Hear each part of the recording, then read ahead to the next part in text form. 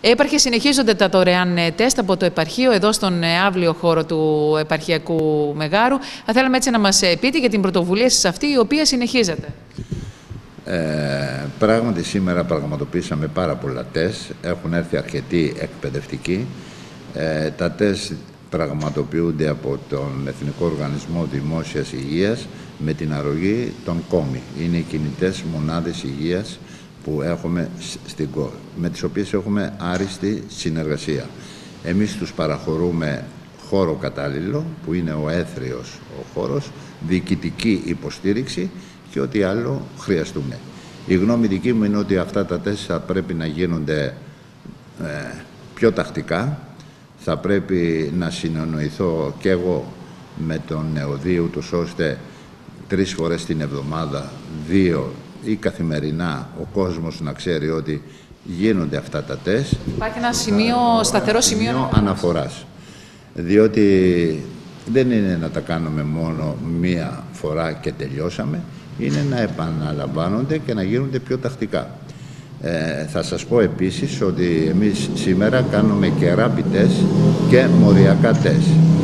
Ε, γιατί το κάνουμε αυτό; Αυτό το κάνουμε διότι με το rapid σε ένα 20 λεπτό περίπου, μισή ώρα, έρχεται μήνυμα στο κινητό για το αποτέλεσμα, οπότε φέρει πει ο εκπαιδευτικός μπορεί να το εμφανίσει στο σχολείο για να μπορέσει να εισέλθει στην τάξη και τα μοριακά, τα οποία πηγαίνουν Αθήνα, έρχονται μετά από ένα τετραήμερο περίπου.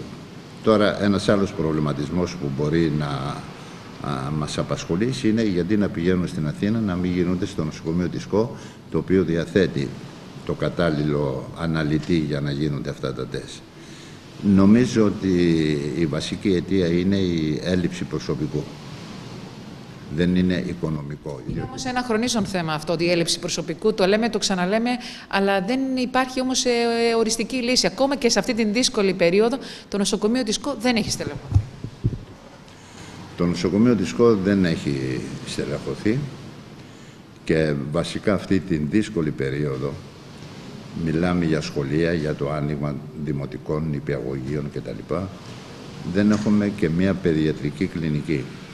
Οφείλω να σας πω ότι με προβληματίζει έντονα το γεγονός ότι αν ο γέννητο, ένα μικρό παιδί, έρθει αντιμέτωπο με τη, την ίωση αυτή, και θα χρειαστεί νοσηλεία σε ένα πιο εξειδικευμένο τμήμα, δυστυχώς θα πρέπει να μετακινηθεί. Και αντιλαμβάνεστε τι σημαίνει για το παιδί το ίδιο, την οικογένειά του, που μάλλον δεν θα μπορέσει να το ακολουθήσει η μητέρα ή ο, ο πατέρας. Είναι σοβαρά τα θέματα αυτά ε, και αυτό πρέπει να εξαντλήσουμε ό,τι είναι δυνατό σε τοπικό επίπεδο, διότι πιστεύω ότι τα προβλήματά μας δεν θα τα λύσουν τα κεντρικά κράτη, τα οποία ενδεχομένως έχουν και πάρα πολλά άλλα προβλήματα. Θα πρέπει εμείς να βρούμε έναν τρόπο συνεργασίας αναμεταξύ μας, διότι θα μου επιτραπεί πάλι να πω ότι η συνεργασία είναι ζητούμενο.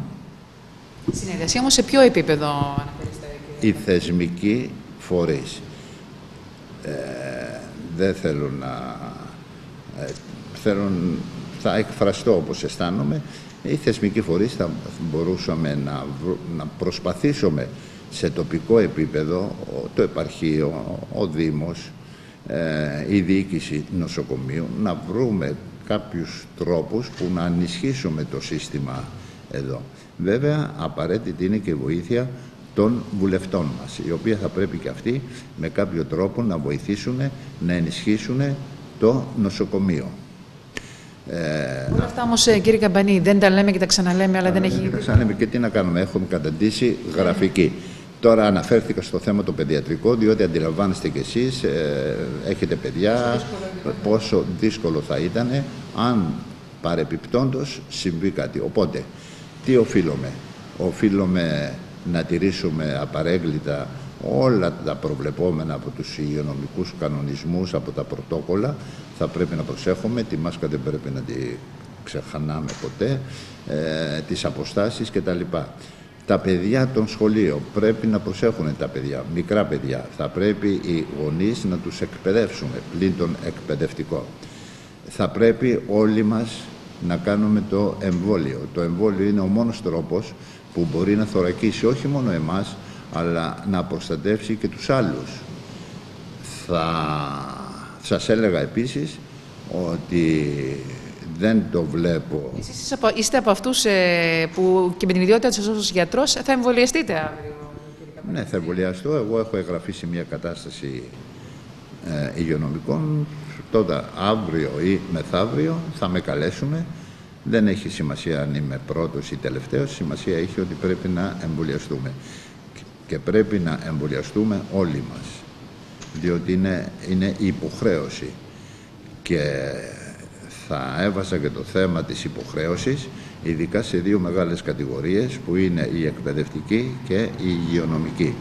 Μου είναι αδιανόητο οι υγειονομικοί να, είναι, ε, να το σκέφτονται ή να προσπαθήσουν να μην κάνουν το εμβόλιο για λόγους ε, που δεν μπορούν να εξηγηθούν. Και οι εκπαιδευτικοί διότι ο εκπαιδευτικός πρέπει να το κάνει για να προστατεύσει και τα μικρά παιδιά. Ο υγειονομικός πρέπει να το κάνει, διότι ε, θα δει ασθενείς οι οποίοι έχουν άλλα είδους προβλήματα και δεν γίνεται να μείνει αθωράκιστος. Οπότε είμαι 100% υπέρ του εμβολίου. Όσο αφορά τώρα τα τεστ τα οποία να σας εξηγήσω είναι ότι ναι μεν τα rapid test έχουν μία ασφάλεια ε, περίπου 75% διότι μπορεί να δώσει και ψευδός αρνητικά. Για τον λόγο αυτό εμείς κάνουμε πάντα και μοριακά τεστ.